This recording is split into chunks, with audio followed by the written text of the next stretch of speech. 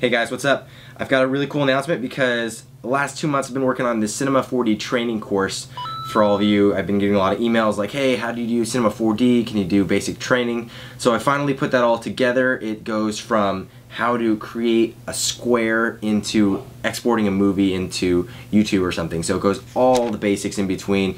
It's a really good course. I'm really happy with it, really proud of it. And I'm letting you know the ordering starts tomorrow. You can purchase it and download it tomorrow morning, but you need to get on a reservation list today uh, because just like all my other training, it gets too much traffic.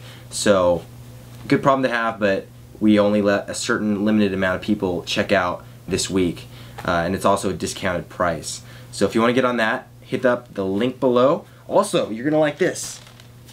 You know what this is? I call it the Final Cut King Spider Dolly and it's uh, eight skateboard wheels. It goes on a dolly track, PVC, or whatever track you want. And uh, I'm going to show you how to make it for pretty cheap, 30 bucks, 40 bucks. Um, also, uh, we might actually make a few for you guys and send them out. So stay tuned on the website and the Facebook page for this. The links that you need are down below. Have a great week.